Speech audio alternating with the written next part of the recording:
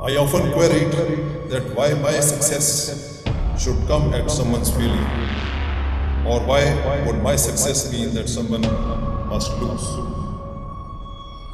There has to be a way where we all can win, and because this goes against the established thinking and psychology, therefore it needs paradigm shift. Let's come together, understand each other, and fight the common enemy.